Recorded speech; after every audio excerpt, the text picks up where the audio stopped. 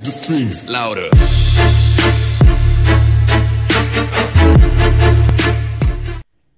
Hey, what's up, guys? My name is Switcher T Scored, and today I'm bringing you guys Mothership with Every Shotgun, episode number 2. And this one here is a Mothership using the 205 Brecci, and uh, I was playing 6v6 domination on Breach in this game, and I don't really have that much to say about the gameplay. Uh, all I want to say is just, this might be my favorite shotgun in Black Ops 3. Uh, like, I don't really use shotguns all that much in Call of Duty in general, but when I do, I really like the full auto ones, kind of like the AA-12 and the Haymaker. And then I also like the single shot one, uh, the single shot ones where you can kind of like spam the trigger like this. And uh, so I really like this 205 Brecci, and I recommend on this gun, if you guys want to use this, pretty much all you really need to use is extended mags and then stock. Uh, I like to use extended mags on this thing because you get 17 bullets in a clip, uh, which is pretty insane because if you get close enough to an enemy, you can kill them with like one bullet of this gun, and it's pretty easy to get kills. And then I like to use stock on shotguns just because uh, it's easier to strafe around corners and kind of just move around,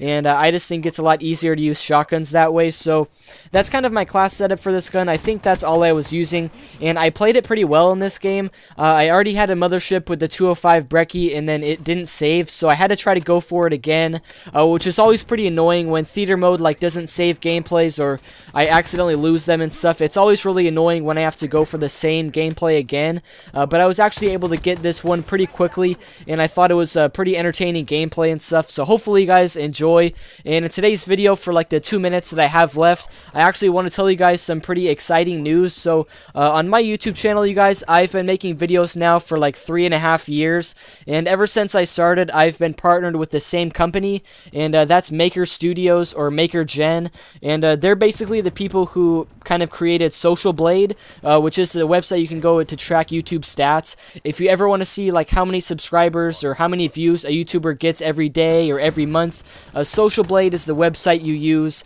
and if you want to just get partnered through Social Blade directly, you partner up with uh, Maker Gen, and I only partnered with them because my channel was really small in the beginning, obviously, and now my channel's kind of grown slowly over time, and uh, the thing I don't really like about them is just they weren't really the best with customer support. I always needed help with my channel, and I needed somebody to email, and they always took like forever to respond, or they weren't really clear about when I was actually asking them questions. Uh, they just weren't really helpful and stuff, and I've always just wanted to switch networks, and uh, one time my contract went from a 60% revenue share to 70%, and I had no idea it put me in a whole nother locked contract, so instead of being done in only two years with them, which is usually the standard contract is two years, I ended up being locked in for like three and a half years, and I finally got out of it now the other day, you guys, on March 1st, or not March 1st, sorry, May 1st, and uh, so now I join with Curse Gaming or a Union for Gamers. I'll put a link to them down below, but I really, really like the company, and they also give out a 90% revenue share as well.